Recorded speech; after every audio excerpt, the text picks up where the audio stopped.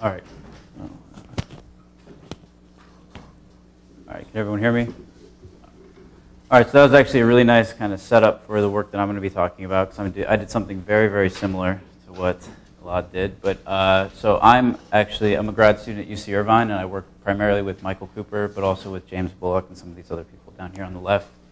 And I'm going to be transitioning slightly to low mass satellite uh, galaxy quenching, specifically via stripping. But when I say low mass, I mean very low mass, like 10 to the 6 to 10 to the 8 in stellar masses. So these are objects that are dwarf galaxies that we can really only observe in any sort of uh, complete sense in the local universe.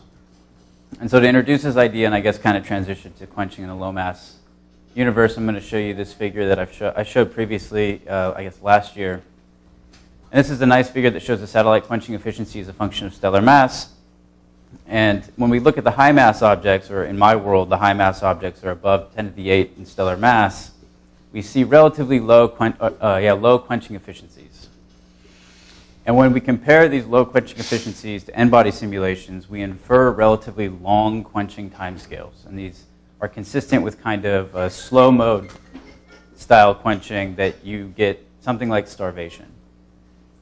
This is in stark contrast to what we see when we move down underneath uh, 10 to the 8 in stellar mass, roughly 10 to the 6 to 10 to, 10 to the 8 in stellar mass. And these are only local group points. But we see this really dramatic increase in the quenching efficiency. And then when we play a similar game and compare these high quenching efficiencies to n-body simulations, we infer really, really short quenching timescales. And so this is consistent with you know, something like ram pressure stripping, a more kind of a fast mode uh, quenching scenario. And so when we look at this kind of broader stellar mass range, we see this really abrupt change in the quenching efficiency as we move to lower satellite, uh, lower satellite stellar masses, specifically in the local group. And so my work was to, uh, generally to try to understand this, and we were trying to answer two kind of primary questions, and that is, can gas stripping reproduce what we're calling this critical mass in satellite quenching? And so if we come back here and we look right around 10 to the 8, 10 to the 9 in stellar mass, you see this kind of uptick where the satellite quenching efficiency changes dramatically. And we think that indicates a change in the dominant mechanism that is actually acting on these satellites. And secondly, is gas stripping effective enough on average? So what, what I mean by that is that we need to remove virtually all of the H1 from these things because we need to shut down star formation really, really quickly and these really, really high quenching efficiencies that we observe in these low mass objects basically force us to shut these things down extremely quickly. And so to this end, I built a very, in a similar fashion, but I think Elad's is slightly more sophisticated, but a, an analytic gas stripping pipeline. And so what I've shown here is, and I don't have time to go through the details, but please come talk to me at coffee if you're interested in those. But generally, we implement kind of a, a Gunn and Gott style ram pressure on the left, and then a kind of a gravitational restoring pressure on the right. And where our analysis, I think, is slightly different than many others is for our ISM that we're looking to remove, we actually look to the local universe. And so these are actual observations of 66 H1 surface density profiles that we pull, from the literature, specifically the THINGS, LITTLE THINGS, and SHIELD survey. And for every single one of these H1 surface density profiles, we assign them uh, basically a restoring mass via abundance matching. So you can see that up here. And then for the ram pressure side of the equation, we assume a variety of values for the hot halo density that we take from the literature, and for the infalling satellite population velocities, we choose a few values that we think correspond to important times during the subhalo's um, orbits, and we, and we get those from simulations, specifically the ELVIS simulation. And so when we turn the crank, so to speak, uh, this is one of the main results. And so what I have here is the strip fraction, or the fraction of the H1 that's removed from any one of these satellites, as a function of stellar mass. And a few things kind of jump out, or jumped out at me immediately when I saw this. And first was, at the high mass end, all of the high mass objects are pretty, I mean, they're pretty robust to stripping. They're, they're not affected by ram pressure stripping in Milky Way-like environments, hardly at all. But then as you kind of cross this threshold, right, about 10 to the 8 to 10 to the 9 in stellar mass, you see this noticeable uptick where the quenching efficiency becomes, or gas stripping becomes an appreciable effect, something that you have to take into account. The other kind of striking thing is the scatter. Um, underneath 10 to the 8 in stellar mass, we basically span the range. And this scatter is driven entirely, at least in the, in the context of my pipeline, it's driven entirely by the variation in the H1 surface density profile. So at fixed stellar mass, these low mass objects show a, a wide variety of H1 surface density profiles, and that's important with regard to how well they strip. Um, so this was encouraging, the fact that we were able to kind of see this critical mass in our analysis. But we wanted to also test this as, a, as basically we wanted to vary the host properties and see how robust our, this analysis was to a variety of host properties. So what I'm showing here are six different panels. The panels I just showed you previously, the scatter plot is this one up here. But we basically have, going from top to bottom, we increase host halo density. So the bottom panel is 10 to the minus 4 uh, particles per centimeter cubed. Top is 10 to the minus 3.5. And then moving left to right, we have uh, three different velocities. So the, this left panel, or these left, this left column corresponds to something like pericenter, or, or excuse me, this corresponds to something like first infall, and this is something similar to crossing 0.5 RVIR, and then the far right is something like pericenter. And so what's nice is that we are, this analysis or this stripping pipeline basically shows that this critical mass, this scale, this satellite stellar mass scale at which stripping turns on seems to be robust to all the different properties of the host halo. So that's a nice result. That being said, the amount of H1 that we're actually removing from the gas depends very, very strongly on the host properties. So if you adopt something like this, 10 to the minus 4, 10 to the minus 4 and 200 kilometers per second velocity, you get relatively, I mean, you're not really doing a whole lot. You're only removing about 10% of the gas. And up here on the top right, you have something that's more like pericenter passage, and you're getting much higher gas removal, but you're still only removing roughly 40% of the gas. And these low mass satellites are so gas rich when they start out that you need to basically remove all of it. And so, so to include a slightly more realistic, uh, maybe I think that's the wrong word, but we took this a step further, and we included an additional effect, which was we included turbulent viscous stripping through Kelvin-Helmholtz instabilities in an analytic sense. And so what, that's what I've plotted here. And so if you, if you go back and forth, you can see that there is a, marked, a noticeable in, uptick in the amount of gas that's removed, and we're still able to reproduce this kind of critical scale uh, below which satellites become susceptible to uh, gas removal.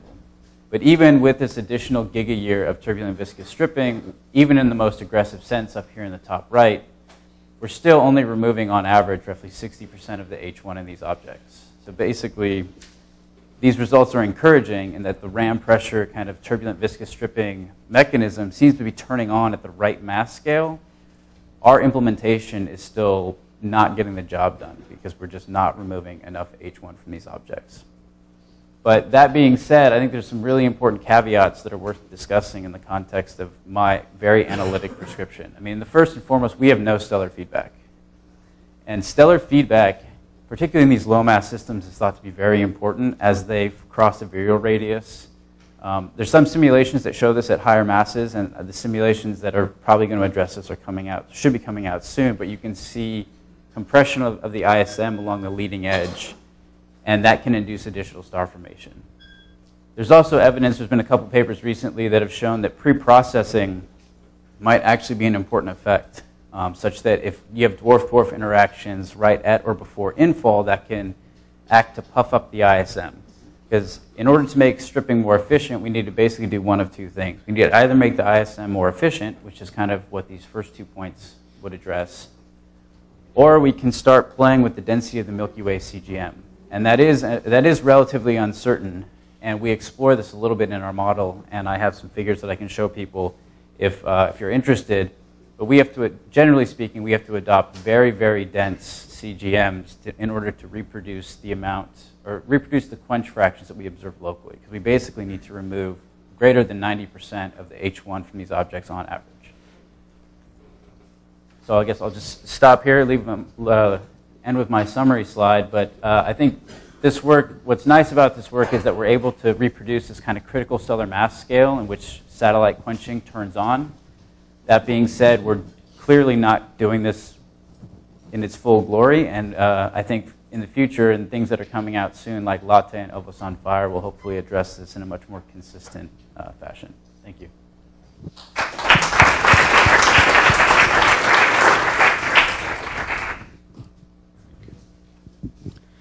So this is uh, this is really nice work. I mean, so when Colin Slater and I went through this a few years ago, yeah. we agreed with you that uh, the the quenching has to be startlingly efficient for the low mass galaxies. Just everything has to die. And it has to die on one orbit. Yes. Right? Because there's only, I mean, everything being dead means you, you got pericenter and then you're dead. Um, what, you know, I, I wanted to, and, and, we concur with you that it was impossible to just strip the gas with the ram pressure if, if that's all that happened. Right. And we kind of concluded that there must be stellar feedback at some level, which you've alluded to. But I mean, Lucio Mayer said, look, stellar feedback's super crucial for just throwing the gas out to where it's low density. And we know that these systems have lots of stellar feedback. That's their special right. power. That's why they're low mass. Right. Um, and then also tidal stripping, right? That, that they're tidally extended. So they're tidally extended and the stellar feedback makes it go out. So this to us made it feel like a much easier problem, but then it's really hard to model. Have you had thoughts on how to incorporate either of these without just going full up hydro? Uh, honestly, I haven't given that a lot of thought. Uh, I, I, wanted to kind of implement a straightforward gas stripping pipeline, knowing that, for example, Andrew Wetzel has two latte runs that are done that I think basically address this explicitly in a self-consistent way where, um, I mean, so given what was coming down the pipeline as far as doing this properly, quote unquote, I, I didn't I didn't expand on this anything beyond just can we strip these things with the kind of the first order simple uh, suggestions. Okay. that is another last question, very quick. The previous talks implied that the distance makes a difference in terms of the density that things are being plowed through, et cetera. Mm -hmm. So in the two objects that appeared so quenched, um, how close are they to the to the host galaxies, for example? And I would you think that the, the scatter depends upon the scatter would depend upon exactly where you've gone through, and I didn't see that parameter in your analysis. No, and it's not. Um, so our we we adopt average uh, host properties and assign, basically we choose an, an, an, average ram pressure force, so we adopt a halo density and a velocity and just send, basically apply that to all of our satellites. And we vary that parameter slightly so the velocities might correspond to something that's consistent with pericenter crossage or crossing 0.5 RVIR. But um, what makes those objects so quenched is that their H1 profiles are relatively extended and they have lower central surface density. So they're more susceptible. Their gravitational restoring forces are basically lower relative to the typical ram pressure. So we, we don't account for the, the variation in orbits at all. Okay. Uh, is the next speaker set up or it's okay?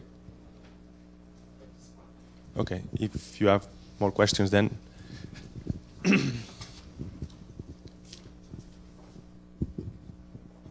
So I was wondering, when you say the gas stripping, do you need to? Does the gas need to be removed outside of the virial radius, or does it have to be moved out to uh, a certain distance less than the virial radius? More. I was wondering specifically, what do you term uh, that the gas has been stripped from the halo, from these uh, galaxies? Yeah, I guess we, we do a very kind of simple thing where we, we literally just calculate the radius at which the ram pressure force exceeds the gravitational restoring force, and then we integrate the H1 density profiles outside of that radius. So again, the, the more complicated, like, is this gas truly unbound relative to the potential of the dwarf? We don't account for that in any way. This is just a very kind of zeroth order uh, ram pressure stripping implementation. Okay, let's thank Sean again.